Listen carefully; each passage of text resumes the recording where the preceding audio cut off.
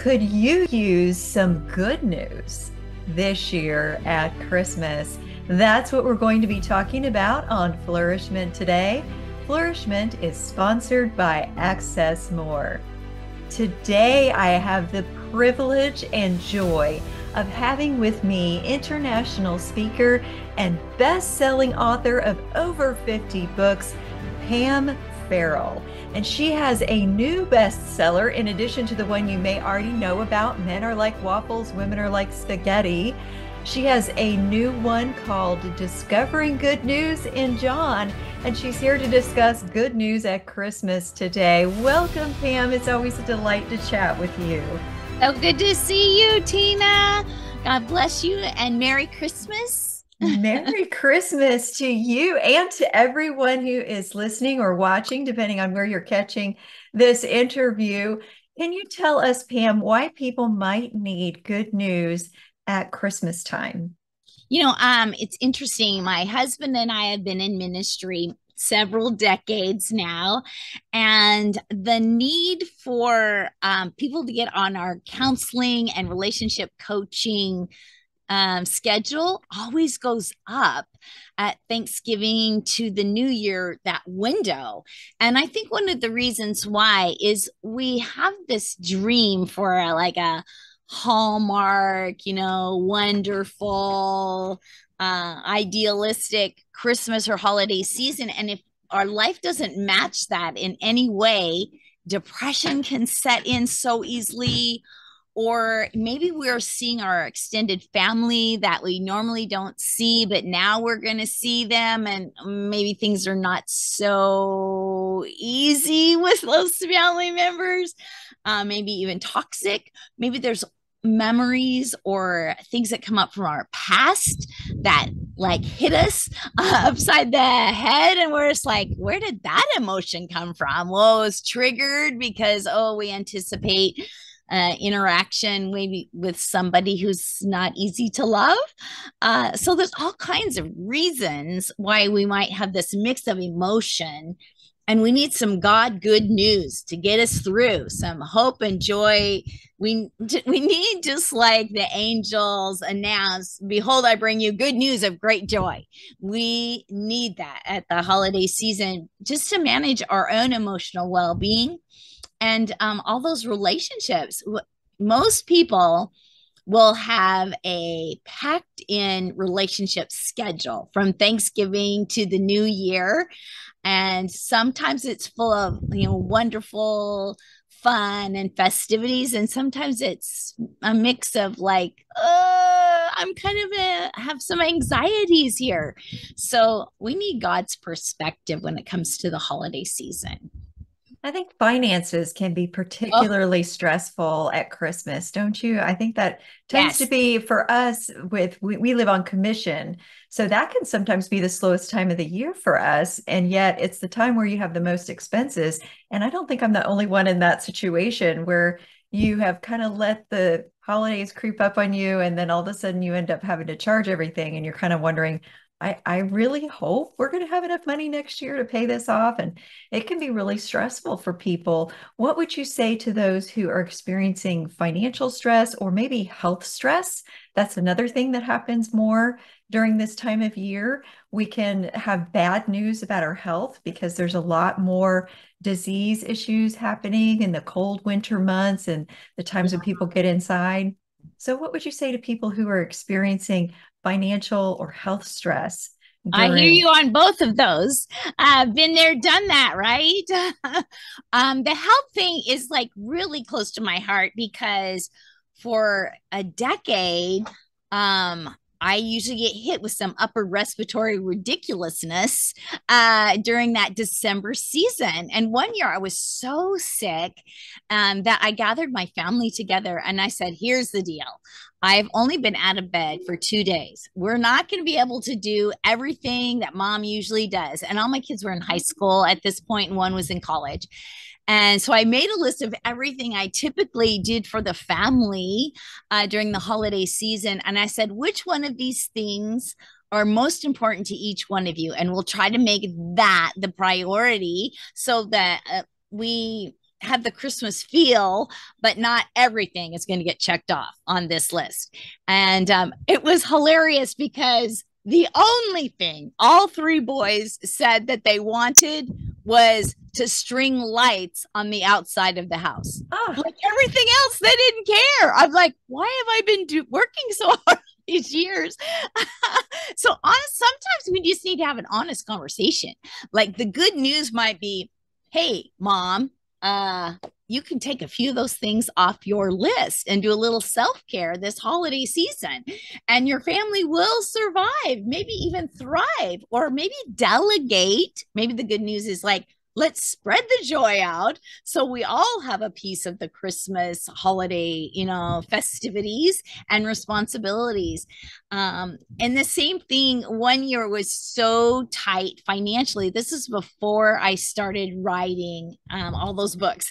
And uh, my husband was a pastor and we had littles in the house. Um, you know they were toddlers and preschoolers and no money. Like like it was a very uh Charles Dickens like Christmas.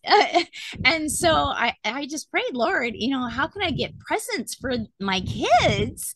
And God said, what what kind of gift do you have that you can bring to me just like the hey how are we going to feed all these people? Loaves and fishes kind of moment. And uh, and the apostles brought you know the lo- loaf and bread a kid's lunch.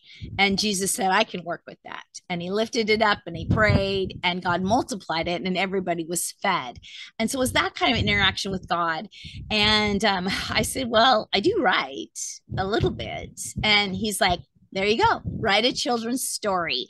And so I actually wrote a children's story for my boys, and a part of it um, was affirmations. Uh, and we put each child in the middle of our whole family. I read the Christmas story, and then we blessed each boy. Everybody said what were the strengths. Um, we also gave that my uh, nieces and nephews that were there what were their strengths, what are their giftedness, what are their skill sets, what are the attributes that we see that God put in their life to make them, you know, for such a time as this, born at this moment in history. And, you know, we put it on this little angel. Um, and we did that for each one of the kids. And my grandkids now pull out that little angel for their daddies. And that's one of the first ornaments that they want to put up. Like what was said about my daddy when he was four years old. And, you know, it, so what looked like was going to be bleak was a blessed Christmas, one of our favorite. And so let God multiply your fish and bread this holiday season, maybe with something creative, maybe a Christmas that's very different than you've celebrated in the past. Let Him add Himself uh, to the mix of the merriment. What about people who are going through loss at Christmas time? I think that can also be a place where you've had bad news and you're struggling to find anything that's good news. What would you say to someone who's going through a recent loss or an imminent loss at Christmas time? Right. Hey, um, I'm walking one of my best friends through this right now. Um, she and her two sons and daughter-in-law and little baby have lost the patriarch of the family, a wonderful mm-hmm. pastor, Pastor John, and they're looking at Christmas, going, "This is going to be uh, tough. It's going to be a tough Christmas." But some pre-planning has brought some hope and joy into their life like what were the favorite things of dad at the holiday season let's do some of those knowing that we're going to be grieving but this will bring our dad right into the middle. This will bring my husband right into the middle of our holiday season. So instead of like pretending the pain doesn't exist or pretending the grief is not there. Walk right into the grief. Um, one of my dear friends, uh, I kayak uh, and we live on a boat and so i love to kayak and i was in alaska one year and we were in the middle of a glacier bay so there's icebergs all around and the thing about kayaking in alaska is if you fall out of the boat you you have like less than three minutes to get back in the boat. I mean, it's like frigid waters, right? So it's like a little perilous. And so the wind whipped up, and we're paddling right along, and the wind whipped up, and it's one foot whitecaps, then two, then three foot whitecaps, like where you're missing the water when you're paddling. And my friend Deb, she gathered us all together and she said, Here you go, girls. We got to get you to shore because we want you to live. And I raised my hand. I'm like, Yes, I vote live. Live is a good thing. And um, so she said, Here's what you're going to do you're going to put your bow right into that wave and keep paddling. Paddling is your stability. And I thought, I just learned a life lesson right there. Keep paddling put the bow right into the wave and so put your put your life right into that grief and plan what you're going to do to bring that person and their memory right into the moment. And whether it is you know placing that star atop and having a prayer gathering around as you're decorating the christmas tree just in honor of the person that you are missing this holiday season whether it's going to that christmas eve candlelight service that was his or her favorite and making that a part of your holiday and take it just taking kleenex with you knowing that it's okay that you cry and process your emotion this holiday season.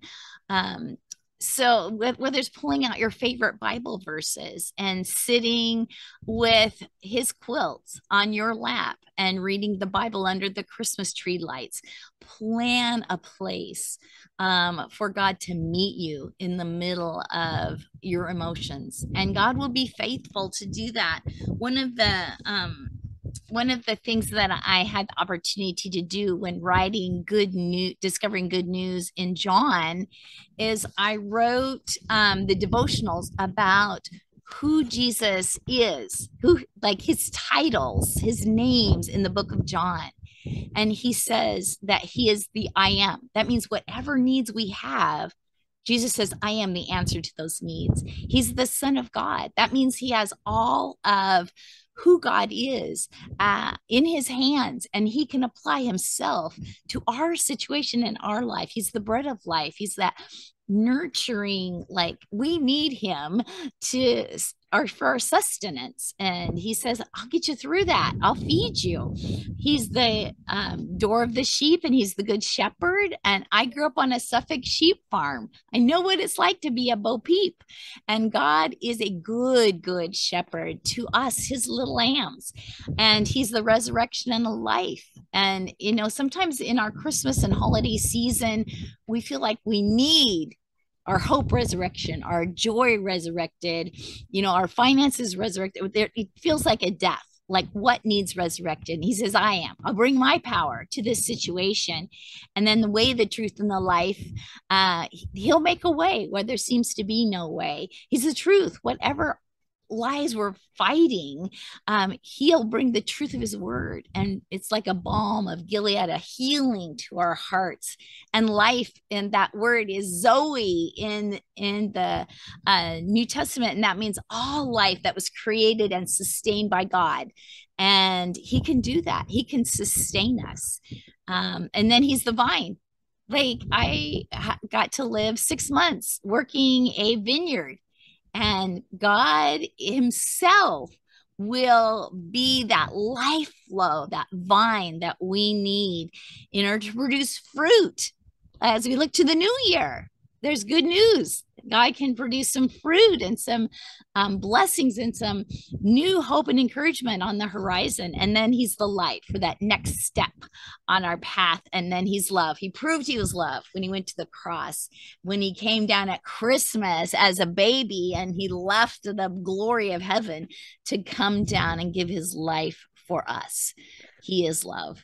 And I am so enjoying all of that, all of the wonderful things that you have to say about discovering good news at Christmas.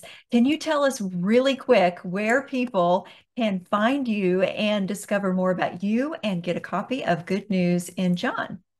Uh, our ministry is Love-Wise. We like to say we park ourselves on the corner of God's love and God's wisdom. And our theme verse is um, Proverbs 19 8. The one who gets wisdom loves life.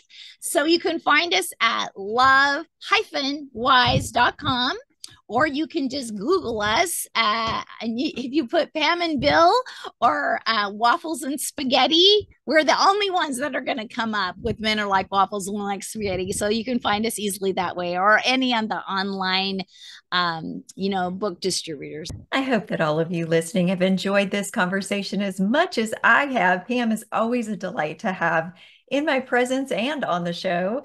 And I hope, of course, that you will have a joy filled Christmas and that you will come back for the next episode of Flourishment.